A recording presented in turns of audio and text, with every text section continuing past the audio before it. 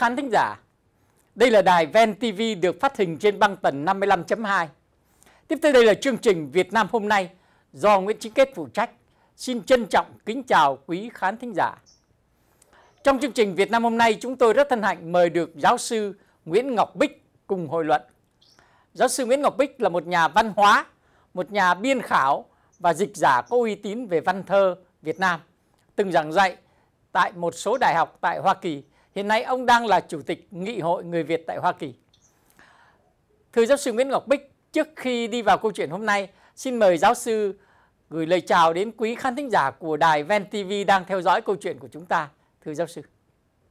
Lời đầu tiên thì chúng tôi xin được chào ông Nguyễn Trinh Kết ờ, cũng như là quý ờ, khán thính giả của đài Ven TV. Một lần nữa chúng tôi rất vui mừng được có dịp trở lại trò chuyện cùng quý vị. Dạ vâng. À, thưa giáo sư Nguyễn Ngọc Bích, trong mấy năm qua đó, Trung Cộng đã tỏ ra quá hung hăng, tàn bạo và bất chấp luật pháp quốc tế khi ngang nhiên vẽ đường lưỡi bò, tuyên bố chủ quyền trên hầu hết diện tích Biển Đông. Dùng bạo lực chiếm cứ hoặc xâm phạm lãnh thổ và lãnh hải của những quốc gia nhỏ bé chung quanh như Nhật Bản, Việt Nam, Philippines vân vân.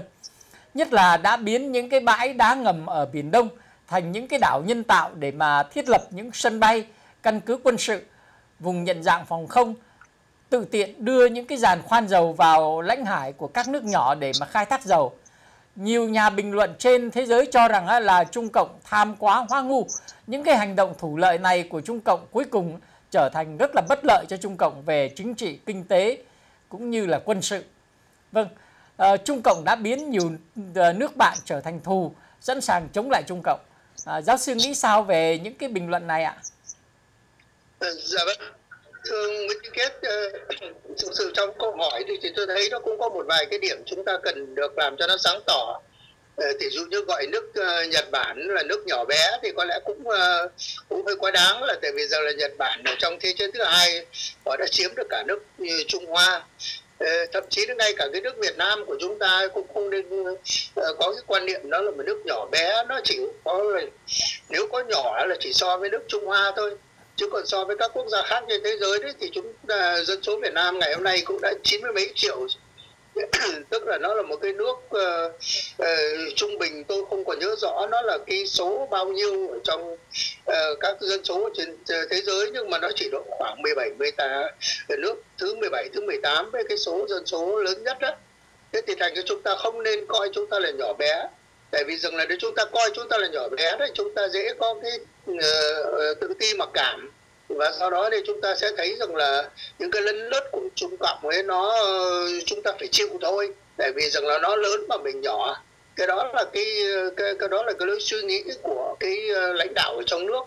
Ừ, như ông Phú Trọng ông cứ hay hay nói về cái chuyện đó ông bảo chúng ta không có quyền lựa chọn cái người láng giềng to khổng lồ bên cạnh chúng ta. Thì đúng nhưng mà hai nghìn năm nay hơn chúng ta cũng vẫn không vẫn có cái vấn đề đó và vẫn là một láng giềng khổng lồ thế nhưng mà không phải vì thế mà nghĩa là ở Việt Nam chúng ta nghĩa là bắt buộc phải gọi là ờ, chịu thua thiệt trong tất cả mọi trường hợp. Vâng, à, cảm ơn giáo sư đã cho chúng tôi một cái quan niệm à, không có bi quan, không có à, tự ti về cái sự về cái độ lớn của nước mình. À, thực sự ra thì Việt Nam cũng là một nước lớn đấy. À, so với lại nhiều cái nước nhỏ khác ở trên thế giới nó chỉ nhỏ bé hơn so với Trung Cộng mà thôi. Ờ, nhưng mà cái câu hỏi của chúng tôi đó đó là là khi mà Trung Cộng ờ, gây sự và tỏ ra ngang ngược quá như vậy đó thì ờ, có bất lợi cho chính bản thân họ hay không thưa giáo sư? Dạ thưa có đấy ạ. Chính là đấy cái đó là cái quan niệm của một số uh, uh, bình luận gia rất là nổi tiếng trên thế giới mà trong đó có những người mà gọi là gốc Trung Hoa đàng hoàng như là ông Gordon Chang chẳng hạn uh, ông cũng nói rằng là Trung Hoa uh, bỏ cái chính sách của ông Đặng Tử Bình uh, trước kia đó tức là cái chính sách nó gọi là đạo quang dưỡng hội đó tức là mình mình giấu đi cái cái ánh sáng của mình và mình nuôi dưỡng cái sự uh, cái sự tương đối tối tối uh, của của mình đó thì nó có cái lợi cho nước một cái nước mà nó đang uh, tìm cách ngoi lên trở thành cường quốc số số 2 ở trên ờ, thế giới đó. Ờ, thì thì ông Đặng Tiểu Bình ông ông có hẳn cả một cái triết lý về cái vấn đề đó. Thế nhưng mà ờ, sang đến ông Giang Trạch Dân ấy, thì thì là đã chúng ta đã thấy cái áp lực của bên quân đội của Trung Cộng đặc biệt dưới thời ông Hồ Cẩm Đào và bây giờ dưới thời ông Tập Cận Bình ấy thì chúng ta thấy rõ ràng là cái ảnh hưởng của quân đội nó lên rất mạnh ở Trung Cộng. Ờ, và do đó nên nó nó đã bỏ đi cái cái ờ, chính sách của ông Đặng Tử Bình. Ờ, và và do đó nên nó nó lộ diện như là một cái quốc gia bá quyền rất là hung hăng và và và, và nghĩa là mất cảm tình đi rất nhiều của những người xung quanh. Thì thực sự thì người ta bảo trong cái cuộc gọi là đương đầu chưa hẳn là đương đầu nhưng mà ít chất cũng gọi là cạnh tranh giữa Mỹ với Trung Cộng đó thì Trung Cộng đã mất hết mất như hầu hết các uh, các đồng minh. Nếu còn bây giờ trong vùng Đông Nam Á chẳng hạn Trung Cộng thì may ra chỉ còn có ở Cao Miên thôi chỉ còn có Hun Sen thôi. Còn uh, tất cả các quốc gia khác ở trong uh, uh, hội các quốc gia Đông Nam Á ASEAN đó mà người ta đã rất là lo ngại về Trung Cộng và người ta càng ngày ta càng uh, đến gần với lại uh, Hoa Kỳ. Uh, trong khi đó đó thì Hoa Kỳ đó tuy nó là một cái nước ở xa. Nhưng mà ờ, ờ, riêng trong cái vấn đề biển đông đó, thì hoa kỳ có thể nói là có hầu hết các quốc gia lớn ở trên thế giới ờ, đứng về phía hoa kỳ. Tỷ dụ như nhật bản tỷ dụ như là úc tỷ dụ như là anh, pháp còn ở trong ngay trong vùng thì những quốc gia như là Philippines, Singapore ờ, giờ này đến ngay cả Việt Nam cũng mon men ờ, muốn có Mỹ ờ, đứng ở đằng sau. Thế thì thành ra về phương diện đó đó thì Trung Cộng đang ở trong một cái thế mà không nhất thiết là lợi cho họ. Vâng. Quả thật đó là cái đường lối của ông Đặng Tiểu Bình như vậy thì rất là khôn ngoan. Nếu mà muốn chiếm biển Đông đó thì có lẽ Trung Cộng nên chờ một cái thời gian tương đối. Ờ, đủ để mà tuyên bố cái ờ, cái cái cái cái, cái tham vọng đó của mình. Ờ, tại vì nếu mà lộ cái tham vọng đó ra quá sớm á, thì người ta sẽ đề phòng. Và điều đó nó cũng là một cái điều rất là quan trọng trong cái vấn đề chính trị. À, trong cái cuộc đấu tranh à, của những cái người đấu tranh dân chủ ở trong nước đó nhiều khi những cái người Việt ở hải ngoại của chúng ta đó cứ đòi hỏi họ phải tuyên bố là phải lật đổ cộng sản phải phải uh, chống lại chế độ một cách uh, uh, minh nhiên thì chúng ta mới công nhận họ là những cái người đấu tranh dân chủ. Uh, thật sự còn nếu mà họ họ còn ca tụng Hồ Chí Minh hay là họ còn họ, họ còn nói là họ chỉ tranh đấu cho nhân quyền thôi đó thì thì chúng ta liền kết án họ là là dân chủ cuội. Thì tôi thấy như vậy thì thì cũng uh, uh, không có khôn ngoan. Uh, tại vì nếu mà giờ ở trong nước mình mà vội nói là chúng tôi muốn lật đổ chế độ cộng sản thì dường như là họ sẽ vô hiệu hóa mình ngay tức khắc và thậm chí là mình bị vô tù liền. Cho nên là họ những cái người đấu tranh ở trong nước cũng phải che giấu cái ờ, cái cái mục đích của mình. Như chúng ta đã thấy đó là cộng sản ờ, cho dù là mình có che giấu thì cộng sản nó cũng, họ cũng biết được. Ngay như ông ờ, Trần Khuê và ông Phạm Quế Dương đó khi mà ông ấy lập ra cái hội gọi là uh, ủng hộ đảng chống tham nhũng thì uh, vâng thì cộng sản cũng đã biết là cái cái cái mục đích chống tham nhũng chỉ là cái chiêu bài ở bên ngoài thôi chứ còn uh, uh, mấy ông ấy là cũng muốn lật đổ chế độ uh, cho nên là họ dẹp uh, uh, ngay. Uh, tại vì nếu mà họ mà không còn tham nhũng nữa thì chắc chắn là chế độ cũng sẽ bị sụp đổ thôi cho nên là những cái người mà đấu tranh dân chủ ở trong nước đó họ nhiều khi họ phải sử dụng những cái uh, cái, cái hình thức ở bên ngoài có vẻ như là không có chống gì cả. Mà thì mà chúng ta lại đòi hỏi họ phải ờ, bỏ những cái uh, những, những cái uh, cách che giấu đó đi đó thì chính chúng ta mới là cái người uh, thậm chí là chúng ta còn dở hơn những người cộng sản nữa. Cộng sản thì họ biết ngay là là những cái người mà nói rằng là chống là là chỉ chống nhân quyền à, chỉ chỉ đòi hỏi nhân quyền thôi đó thì họ cũng biết thực tâm của những cái người đó là là muốn lật đổ chế độ. Còn chúng ta thì chúng ta uh, cứ chê bai họ chúng ta nói họ là cuội và cuối cùng thì chúng ta loại họ ờ, ra khỏi cái vòng chiến khỏi cái cái cái vòng tranh đấu của chúng ta. Chúng ta làm cho cái lực lượng của chúng ta yếu đi. Và như vậy thì ờ, có thể nói là chúng ta cái cái đấu tranh mà cứ như vậy thì rất là thiếu sáng suốt phải không thưa giáo sư? Dạ, theo về cái vấn đề đó thì ý nghĩ của chúng tôi nó như thế này ạ. Là chúng ta là ừ, nhất là những người mà chống cộng hải ngoại đó là chúng ta có một cái ờ, một cái ờ, khoảng cách rất là an toàn đó là nửa vòng trái đất ờ, mà cộng sản ừ, chắc còn lâu mới đụng được đến chúng ta. Thành ra chúng ta rất dễ hô hào rất chúng ta rất dễ như chúng ta nói rồi là chống cộng bằng miệng nhưng mà ngược lại đó ở người trong nước đó thì đương nhiên họ không ở trong cái thế nó đơn giản như vậy. Nhưng mà ngược lại đó thì tôi cho là không có cái gì nó rõ bằng cái ờ, hành động của người ta. Ờ, thành ra là chúng ta thay vì uh, mong chờ những người nhà dân chủ ở trong nước đứng lên uh, xỉ vả cộng sản đòi lật đổ các thứ kia thì chúng ta chỉ cần nhìn vào trong cái hành động của họ. Mà hành động của họ là gì? Hành động của họ là xuống đường hành động của, của họ là phản đối như là dân oan phản đối như là những uh, thành phần ở trong bao nhiêu cuộc biểu tình ở trong nước cả Hà Nội lẫn ở Sài Gòn mà nó xuống đường chống uh, Trung Cộng. Rồi thì họ đưa ra hình ảnh của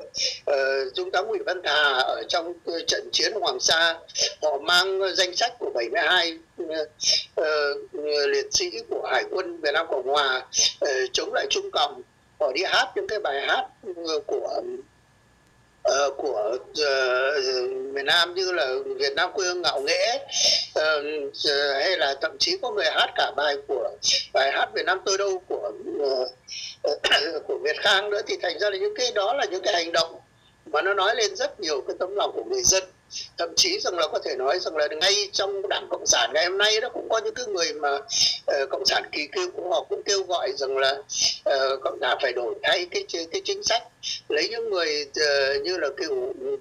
uh, tướng uh, Trọng Vĩnh tức là cựu đại sứ của ừ, uh, 14 năm trời là cựu đại sứ của Hà Nội ở Bắc Kinh đó thì những người như vậy họ cũng kêu gọi là chúng ta phải có một cái sự cảnh giác đối với ờ, trung cộng. Ờ, chúng ta cần phải để ý đến cái lời nói của Nguyễn Cơ Thạch rằng là ờ, một một thời Bắc thuộc thứ ba đang mở ra vân vân thì những cái đó đó nó là những cái những cái hành động mà nó nó, nó nói lên nhiều hơn nhiều hơn những cái lời hô hào đả đảo mà đôi khi chúng ta nghe thấy ở, ở hải ngoại uh, quả thật là xin lỗi. Dạ vâng uh, thưa giáo sư Nguyễn Ngọc Bích là một học giả có những cái hoạt động chính trị chắc chắn là giáo sư quan tâm nhiều đến cái chính sách của Hoa Kỳ đối với cộng sản Việt Nam nhất là khi mà Hoa Kỳ muốn biến Việt Nam thành một cái thành trì ngăn chặn sự cái bành trướng của Trung Cộng. Theo giáo sư thì Hoa Kỳ có thể làm gì và đã làm gì để mà thực hiện mục đích này? Liệu cộng sản Việt Nam có thể để cho Hoa Kỳ biến mình thành một cái thành lũy ngăn chặn cái sự bành trướng của Trung Cộng hay không ạ? Thưa cái vấn đề mà ở Mỹ họ ờ, ờ, nghĩa là đặc biệt dưới thời của Obama, tức là trong 7 năm qua đó, thì họ ve vãn Hà Nội thì cái điều đó chúng ta thấy rất rõ đặc biệt nữa là khi mà, bà Hillary Clinton trong năm 2010 đó, bà đã sang tận Hà Nội để bà nói về cái vấn đề biển Đông Ờ, thì, thì thì những cái đó là chúng ta thấy rõ. Ừ, Đứng ở trong chính trị đấy thì người ta vẫn bảo rằng là nó không có những kẻ thù truyền kiếp mà nó cũng không có những những tình bạn truyền kiếp. Nó tùy cái giai đoạn Mỹ đã có lúc họ bỏ rơi Việt Nam Cộng Hòa là một cái điều mà chúng ta rất là uh, đau xót và và có thể nói một số người rất là phẫn hận. Uh, đó là vì lúc giờ họ cần phải có Trung Cộng làm đồng minh để mà họ họ làm uh, cho nước nga nó nó nó nó sụp đổ. Và đến khi cái chuyện đó nó xảy ra với cái sự sụp đổ của liên xô và uh, uh, đông âu đó thì đông âu cộng sản đó thì người mỹ người ta thấy bây giờ cái nước mà mà họ phải đương đầu số 1 bây giờ là trung cộng thì họ lại sẵn sàng họ đi chơi lại với cái Việt Nam là tại vì họ thấy rằng là ừ, Việt Nam dù cộng sản đi chăng nữa thì cũng đã có lúc ừ, đã ờ, đấu tranh với Trung Cộng như là trong trận chiến biên giới năm 1979 ờ, và do đó nên họ ừ, uh, họ, họ bỏ sang bên những cái vấn đề đôi, đạo đức mà đôi khi uh, chúng ta là những người uh, uh, truyền thống của Việt Nam chúng ta vẫn muốn là nó có cái tính, nhiều cái tính cách đạo đức ở trong uh, bang giao quốc tế. Thế nhưng mà ở trong bang giao quốc tế thì chúng ta cũng nên nhớ rằng là trong thế chiến thứ hai đó Mỹ đã đi với Stalin mà mà Mỹ thừa biết Stalin là một thứ cộng sản uh, rất là quái quăm và rất là đáng sợ uh, qua những cuộc thanh trừng uh, trong đảng của Stalin qua những vụ gọi là uh, giết ờ, đồng minh các thứ vân vân. Nhưng mà khi cần đó thì họ vẫn họ vẫn đi với ờ, với Stalin để họ phải đánh bại từ nước quốc xã tức là Hitler. Thế thì thành ra là trong cái vụ này đó thì họ cũng rất muốn ôm Việt Nam vào uh, trong cái cái cái cái phía của họ. Nhưng mà đây nó là một cái điều nó rất là nguy hiểm nếu chúng ta nói là hoàn toàn để cho chúng ta rơi vào trong cái tình tình cảnh đó. Ngược lại đó thì tôi thấy rằng là tuổi trẻ Việt Nam ấy, các anh chị em trẻ ở trong nước đó, họ rất là tỉnh táo về cái chuyện đó. Họ ờ, tỷ dụ như tôi chỉ lấy một cái quyển sách,